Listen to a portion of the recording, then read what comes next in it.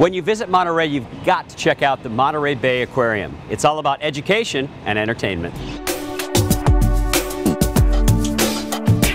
We begin our tour of the Monterey Bay Aquarium at the kelp forest, which is quite impressive, Jessica. It is. So we were the first aquarium to ever have live kelp on exhibit. It's really our crown jewel here.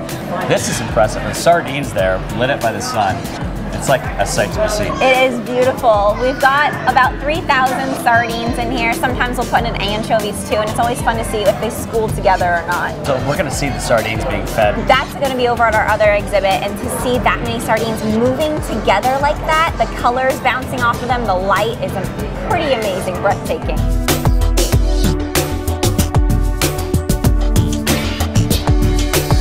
So this is pretty authentic. This feels like we're outside on the beach. Yes, so here we are at our Wave Crash exhibit, a very popular exhibit for families and kids.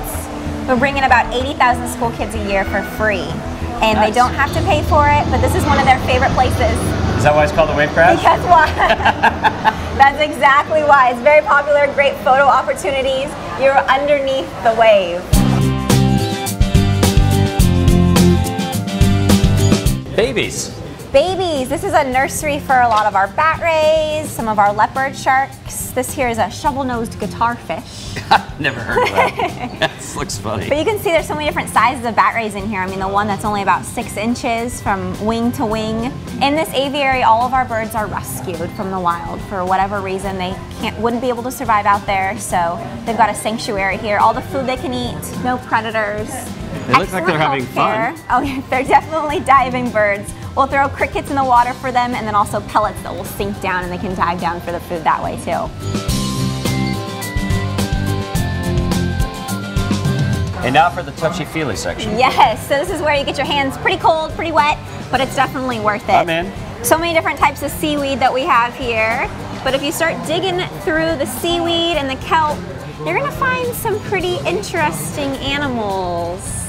Like that. Like this one. So this is what we call a decorator crab. You know, again, pretty harmless animal. They have incredibly small pinchers, but they're called a decorator crab because they're gonna take all this seaweed and algae and they're gonna decorate themselves with it as camouflage.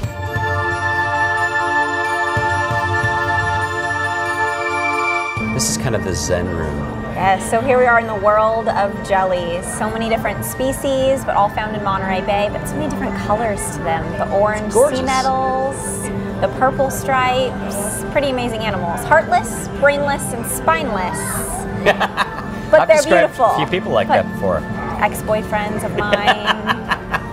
Heartless, spineless, brainless. Yes. They're amazing. They are, yes.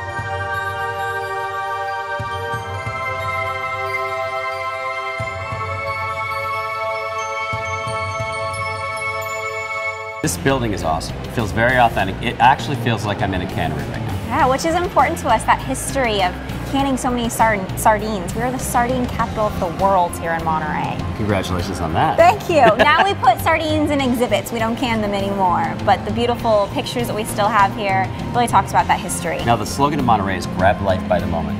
Did you know that? I didn't. It's grab life by the moment. What does that mean to you? Grab life by the moment. Learn, explore, we're right here in Monterey Bay. Go explore the ocean.